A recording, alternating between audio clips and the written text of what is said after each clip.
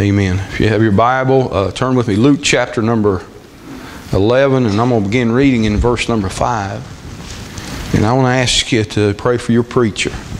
And uh, that's all I'm going to say. Just pray for me. I need it. Amen. Uh, Luke chapter number 11, verse 5. And said, And he said unto them, Which of you shall have a friend? And go unto him at midnight and say unto him, Friend, lend me three loaves. Uh, for a friend of mine is journeying, in his journey, is come to me, and I have nothing to set before him. And he from within shall answer and say, Trouble me not. The door is now shut, and my children with me in bed. I cannot rise and give thee. I say unto you, though he will not ri- rise and give him because he is his friend, yet because of his importunity, he will rise and give him as many as he needeth. And I say unto you, ask and it shall be given you. Seek and ye shall find. Knock and it shall be opened unto you for everyone. Now, I got this in my Bible in parentheses. And I, if you want a promise for your prayer life, I, I, I just want to challenge you to, uh, in verse number 10, either circle or put in parentheses. And here it is. For everyone that asketh receiveth. Now, notice that. It's unqualified promise. For everyone that asketh receiveth. Now, I hope you understand what it means when it says asketh.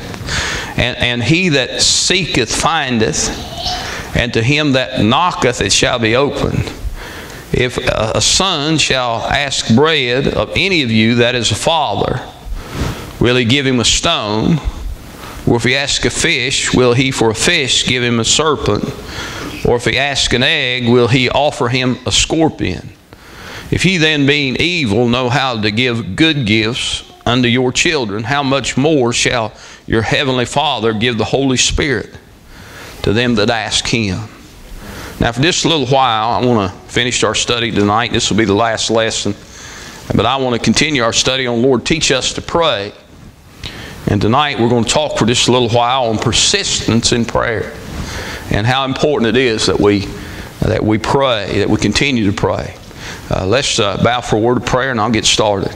Our Heavenly Father, I thank you for this day and for all that you give, and I'm asking you, God, for your help. God, you know how utterly and totally dependent I am upon you. Without you, I can't do anything.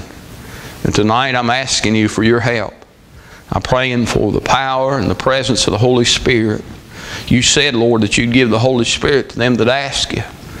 And I'm asking you tonight, God, to pour it out. I'm praying that you'd help me to be a blessing.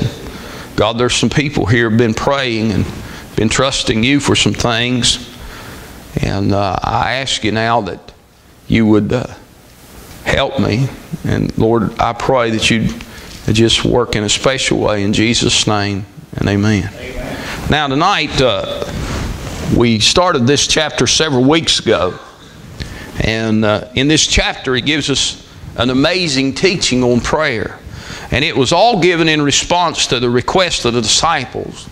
You know, if I had started out, I talk about the priority of prayer. You remember Jesus was in a certain place praying, and when he finished praying, his, his disciples watched him and they said, Lord, teach us to pray as John also taught his disciples. Now, uh, from, from the beginning of the chapter down to verse number uh, 13, that's exactly what Jesus is doing. He's teaching uh, his disciples about the subject of prayer. Now, when we started in our study, the first thing that Jesus does, and we've studied it for several weeks, is He provides a pattern. He provided a pattern. Now, when you look at, the, at this uh, prayer, uh, it's, it's uh, the second time you find it in the Word of God. First time you find it, you find it in the uh, Sermon on the Mount. But here, Jesus gives it, and this is not the Sermon on the Mount, but in response, in answer to the request, He gives the same prayer again and he he gives it and he provides a pattern there are some people that have the idea and when i was a young man uh, or as a, as a junior boy 13 years old uh, our, our class would often join hands. I was in a in a, a, church in a church of another denomination, but our, our Bible class would often y'all trying to figure it out. I'm not telling you, Amen. Some of you know it already, but anyhow, we used to join hands and we repeat the Lord's prayer. Now, they called it the Lord's Prayer. It's not the Lord's Prayer even because Jesus couldn't have prayed it because he, could, he never sinned. But anyhow, we'd repeat it. And, but it's not a prayer to be repeated. Jesus didn't give it for that. He gave it as a model or a pattern to show you how you ought to pray.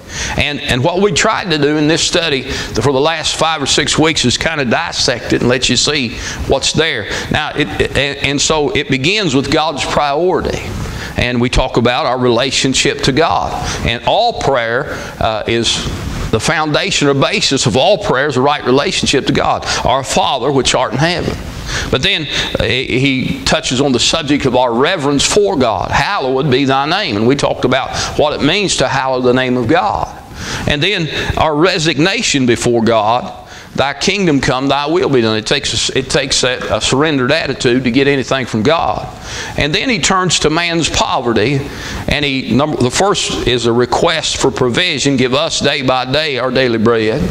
The second is a request for pardon. Forgive us our sins, for we also forgive everyone that is indebted unto us. And then the third thing we studied last week was a request for protection. Lead us not into temptation, but deliver us from evil. And so uh, that's the pattern. And when we pray, those are the essential elements we need to include in our prayer when we pray to God. And we need to remember that when we do pray, most people, when they start their prayer, they just start out, Lord, give me this, Lord, give me that. Well, that's not the way Jesus said to pray. You have to start number one with God's priority. You got you get you got to get the right connection before you can ever pray, and so that's that's what he's teaching. But that's not all that Jesus has to say about prayer. Now, after that, he provides a pattern for prayer. He does what I'm going to teach you on tonight. He paints a picture. Now, what he does is uh, when he I say he paints a picture. Uh, you know, we, we've sometimes you hear people talk about a parable and that's what it gives. You'll find that it gives a parable of the uh, importunate friend, uh, some, a friend that comes at midnight.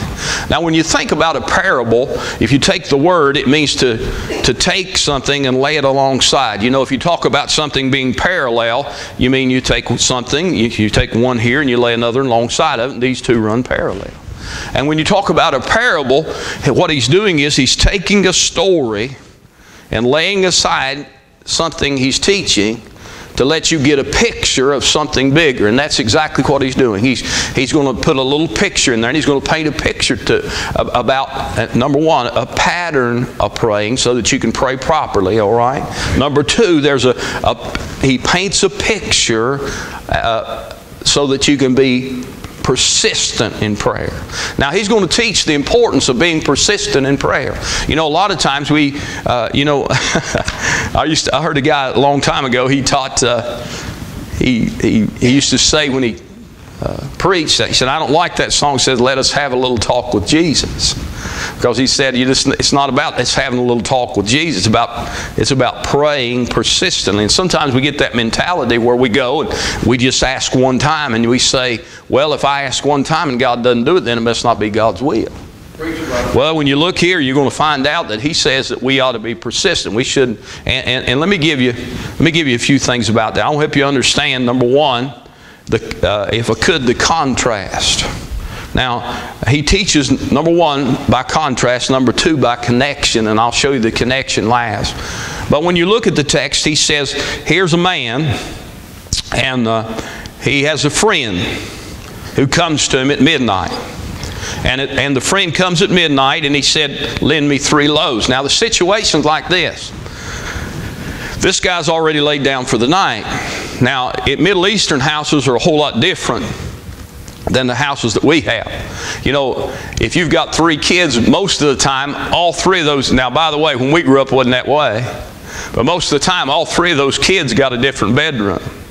But you know, in the, in the old days when you grew up, the boys had one room, the girls had another one. and you were lucky if you had your own bed. Am I telling the truth? Amen. That's the way it was.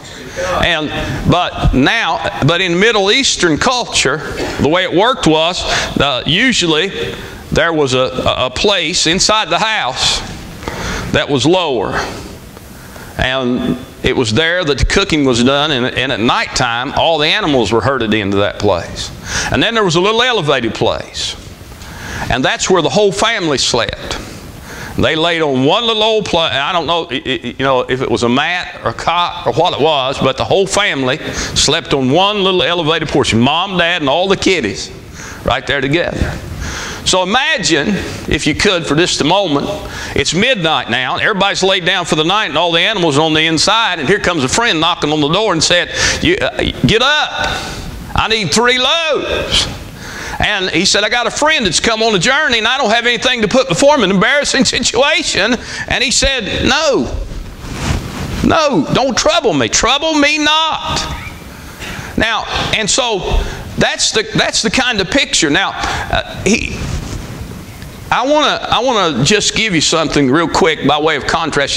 When you read this text, sometimes people get the idea that he's God is trying to compare himself to a friend. That's not you're not getting it. It's not a teaching of comparison, it's a teaching of contrast. Hey, God is not a sleepy friend. Uh, he, by the way, do you know that you serve a God who never sleeps or never slumbers? Amen. And, and, and by the way, uh, He's much more than just a friend. And he's, his ears are ever open, and he's always willing to meet your need. You can come to him any hour of the day or night, anywhere, anytime with your request, and his ears are always open, ready to hear your prayers. Amen. Now, so when you look at it, it's not a, it's not uh, in the beginning. It's a, it's a teaching of contrast, not a teaching of comparison. And so we need to be confident when we come to Him that that's not the kind of God we serve. And it, by the way, it's not. It's also not teaching that the louder I holler, or the more noise I make, the more likely I am to be heard. That's not what it's trying to teach either. But by way, there is also not only a, a teaching of contrast, but there's also a teaching of comparison. And so I want you to see. Now, here's what Jesus is trying to teach you. And number one, first I want you to notice, if you will, the request. Now, he said in verse 6, and, and, here's the here's the comparison. He said, a friend of mine is, is, is coming to me, and he and he number one, he makes a request, and I, he says, I have nothing to set before him. He says in the verse five, lend me three loaves. And that's very specific. He said, here's what I need. And by the way, when you pray to God, you need to be very specific. You need to tell Him just exactly what it is you, ha- you need because you're going to find out in just a minute He gave him what he needed. Amen. And, but nevertheless, there, there came a request, and he, it was midnight. It was an inopportune time, but nevertheless, he came and he knocked on the door and he said, Listen, here's something I, I need. And Notice number uh, so that was the, the first request, the petition. But notice the second, the firm refusal. He says, notice the verse. He says in verse 7, and he from within shall answer and say, Trouble me not. The door is now shut, and my children are with me in bed. and uh, I cannot rise and give thee. I'm not. And what he's saying is, I, am not going to upset the whole household and come out and try to give you what you need. And number one, there is a uh, there is a there is a firm refusal. He says, "Trouble me not." No. Now, by the way, there's sometimes when we go to God in prayer, and here's what I want you to see. There are sometimes when we go to prayer and we pray to, and we ask God for something, it seems, I've heard people say it like this it seems as though my prayers aren't making it any higher than the ceiling. Have you ever heard somebody say that? And, and sometimes nothing happens immediately. And so we think in our hearts, well, that prayer has been denied. God's not going to answer the prayer. God's not going to give me what I ask for. Well, let me, and I, I want you to write this down if you haven't already done it. Are you listening? God's delays are not His denial. Amen. Just because you don't get it immediately doesn't mean you're not going to get it. Amen. And that's exactly what he's trying to teach. He says, he comes to him and he says, Trouble me not. And, and on the first request, he says, No. And, and all of us who've spent any time before God in prayer have had that experience. We've gone to God maybe one time, maybe two times, and we've been persistent, uh, and, and it seems like nothing's happening. We're asking God to do something for us, and it seems as though nothing is happening, and we get discouraged sometimes, and, and oftentimes we just give up. But, are you listening? So, number one, there's the first, the first request. Number two, there's a firm refusal. But then you're going. I, I want you to see the final result. Now, notice what he says in verse number eight. I say unto you, though he will not rise and give him because he is his friend, yet because of his importunity, he will rise and give him as many as he needeth. Now, when he says that, when he uses that word importunity, it's because of his persistence. He, that's because he keeps going. And he keeps asking, and he keeps seeking, and he keeps knocking. And, and he says, because of his persistence, he, you know what eventually happened? That old boy said, I, I, I, have done taken, get up. Let's all get up. We might as well get up. He's not going to go away. If he, I'm just going to get up and give him what he wants because if I don't, he's going to be there all night knocking on my door and crying out. So, and so he goes in, he finds the three loaves, he goes to the door and he shoves them out the door and he said, Here it is. Here's as many as you need. Just take it with you and go. Now that ought to be our attitude in prayer. I mean, we ought to get to the place where when it comes to a certain thing that we need, we get the, we get the mindset, I will not be denied. Amen. And that's that's where he wants us to be. He wants us to get that, that get it so ingrained in our psyche that when we get down on our knees and pray and there's something that we need and maybe it doesn't happen on the first time and maybe it doesn't happen on the second time you say God I'm not giving up because I really need this and I'm just going to keep coming and I'm just going to keep knocking and I'm going to keep praying and I'm going to keep asking until you give me what I need. Amen. Now, it was several years ago. I was praying for something specific. And, and I was praying morning, noon, and night. I mean, I, I, anytime it came to my mind, didn't matter where I was, I was praying. And if I was, and it was during that time when I was on the job, I'd stop and I didn't, I wouldn't take my lunchtime. I'd go somewhere and get along with God, and I'd, get, I'd just pray, and I was asking Him the same thing over and over again. And when I did, I was quoting this first. Now, let me give you, so you find number two, uh, the first thing you find, you find a pattern uh, of, uh, for proper praying. And then you find him painting the picture for persistent praying. And you find, as you look in the text, you find the first request Give me three loaves. You find the firm refusal, trouble me not. And then you find the final result because of his importunity. He rises and gives his as many as he needs. Now, now the second thing, or the third thing that you see in the text, the second thing I'm going to talk to you about tonight, is you find he presents a promise. Now, when you look at that, I, it, verses 9 and 10, you, you, need never to forget verses 9 and 10. And, and the first promise has to do with persistent praying, those who persist. Now, when he says that, he said, I say unto you, now I, here's, what, here's the way I got it marked in my Bible ask and it shall be given unto you. Now, and I underline, it shall be given to you. Seek and, and then I underline those words, ye shall find. And then it says, Knock, and it shall be opened. And I, I, I, I underline those words, it shall be opened unto you. And then in the next verse, verse number 10, for everyone that asketh receiveth, and he that seeketh findeth, and to him that knocketh it shall be opened. Now, it doesn't say, if you read that the context of that, it's not saying if you ask one time, if you knock one time, if you seek one time. Here's what it says For everyone that asketh. Now the word, when you it says ask and then it says ask, that's that's present tense. And what that means is, if you in the original, is continuing action. And what it means for everyone that continues to ask. It's saying, if you don't give up, if you don't give up, you're going to receive it.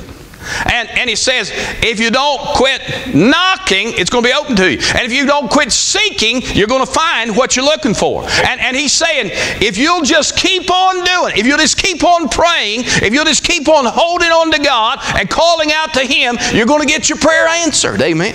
And that's exactly what the context, and, and that, you know what that means to you and me? That means that we shouldn't give up. And there's some people in this room right now, you're praying for something. You're praying for someone. You're praying for your children who, who have drifted out into sin and are far away from God. And, and you prayed and you prayed and you prayed, and it seems like nothing's happening. I'm, what should I do, preacher? I'll tell you what you ought to do. You ought to keep on asking, and you ought to keep on knocking, and you ought to keep on seeking. For everyone that asketh, receive it, and to him that knocketh, it shall be, and to him, hey, are you getting it? And him that seeketh, find it. Hey, hey, hey, by the way, I heard someone say the other night, we were in the prayer meeting, and there, there are people who are burdened about their children. They're burdened about, and, and, they're praying. They're praying persistently for their children. Every week they're coming together and calling their children's name before God in prayer. And the whole thing was started because a bunch of parents got burdened about their kids. And, and one woman said this. She said, It's hard sometimes to wait your turn. And she's seen what God's been God started to do in the lives of some others. Amen. Pam was sitting in the choir on Sunday and she looked back over the congregation and she, she looked in there and said, My son. By the way, are you listening to me? He's been in church the last two Sundays. Amen. Now, he didn't come here last Sunday, but he, came, he, he went with his girlfriend to the, her mother's church. He saw her get baptized. And I could tell you a lot more about that, but I, I don't. There's some things I don't want. I don't want to let you know, but because it's, it's kind of personal. But God's working in his heart. Amen. And looked in the back, and there sat the two Lowry boys. Do you, by the way, do you remember how we prayed for those guys? Amen. And there sat Robbie's sons right beside of Lisa in church. Amen. Hey, and I'm, and I'm telling you, they're all here. You know why they're here? They're here because somebody's been praying for them. Amen. And now you say you might say, "Well, I've been praying for mine, and I haven't seen the answer yet. What should I do, preacher?" Can we tell you what? Keep on praying. Amen. Keep on knocking. Keep on seeking. Keep on asking. Hey, don't give up. And by the way, I am convinced that if you do that, God's going to answer your prayer. You may not see it even in your lifetime, but you need to keep on praying it. But, Amen. Praise God. Can I tell you? I want to tell you a story about a good friend of mine. I had a good friend. You know him. And he always wanted to be a deacon. And, and for some reason, he got overlooked every time. And finally, right before I left Dixie, I brought the guy's name up and we ordained him to be a deacon. And uh, he became a deacon. And he, I remember the night that he went forward and he said, he knelt at the altar and he prayed and he said, God, whatever it takes to get my boys back in church. I want it. Now, he probably didn't know the gravity of what he was about, what he was saying. But it was just a few months after he became a deacon that he got acute leukocytic leukemia. Did I say that right, honey? I'm not a, I'm not a medical person, but he got leukemia, bad leukemia. I remember going down and visiting him in the hospital. I was already the pastor here, and I went to see him in the hospital. And I said, "How you doing?" He said, "I'm doing fine." and he said, "I told God, whatever it takes to get my boys back in church." That's right. By the way, he didn't get to see it.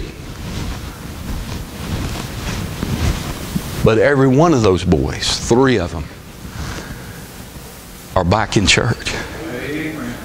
And you know why they're back in church? Hey, one of, them was, one of them was coaching a basketball team. The other one was going to a local church not far from here. And, and one, they're, they're all back in church and serving God. And I'm convinced that's because of Daddy got so burdened about his boys that he said, God, whatever it takes to get my boys back in church. And he prayed. He never got to see it, but it came to fruition. Hey, listen, don't give up. Hey, hey, just because you haven't seen it yet, you may not see it in your lifetime. But I am telling you that there's a God who always keeps his promise. And he said, Everyone that asketh receiveth, and he that seeketh findeth, and he that knocketh it shall be opened unto him. And you need to keep on asking, you need to keep on seeking, and you need to keep on knocking because there's a God in heaven heaven who always answers his prayer, right. keeps his promise. Amen. And so the first promise had to do with persistence, but the second promise you find in the context of the scripture has to do with paternity. Now, I hope you'll be able to identify this because every time I read this, it breaks my heart.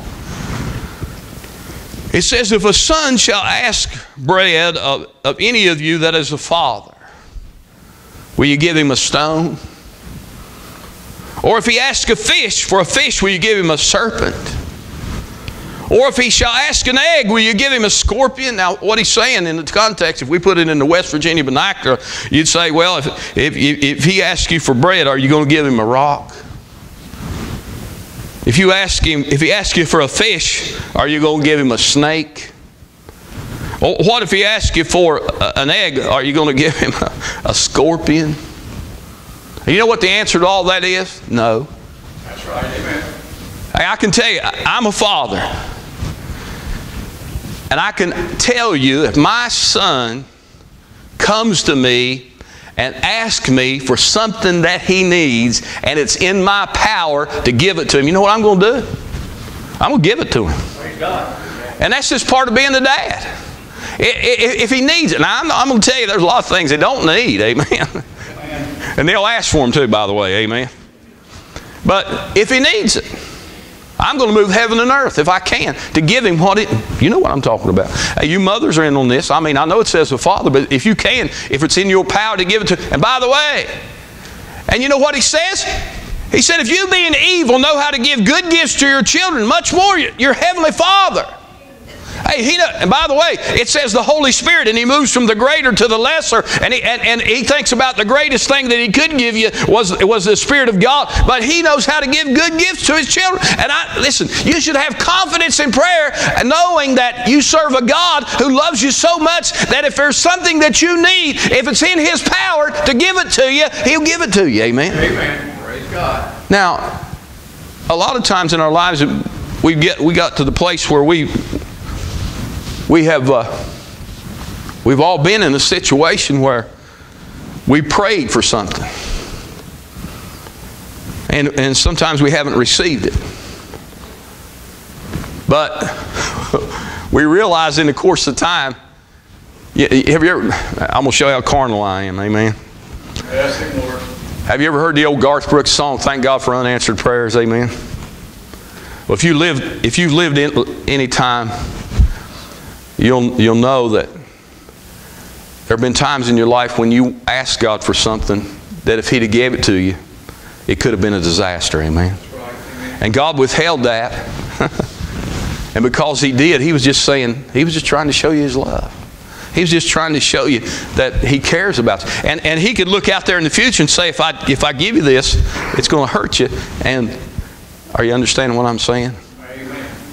If there's something that's going to aid you, if there's something that's going to be, it's going to help you, if there's something that you need, He's not going to withhold it from you. The only things that He withholds is things that would hurt you if you got them. Amen.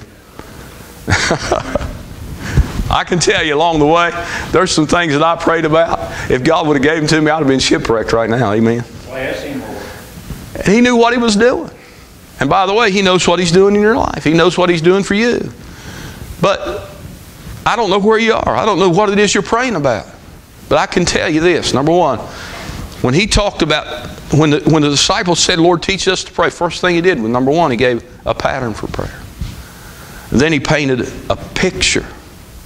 Now, what he painted the picture was he wants you to be persistent. He said, You keep on praying because that guy's not going to get up and give that, give that bread to that fellow because he's his friend. But if he keeps, if he keeps on asking, he's going to rise up and give him all that he needs. And that's what God's going to do for you. But just because he hadn't done it at the first request or the second request, I'll tell you what you ought to do. You ought to keep on asking. For everyone that asketh receiveth. And you ought to keep on seeking, for he that seeketh continues to seek, findeth. And you ought to keep on knocking, for because he that knocketh, it, by the way, keeps on knocking, it shall be opened unto him. And so, tonight, if I had a message to give you, the message is this keep on praying. Don't quit.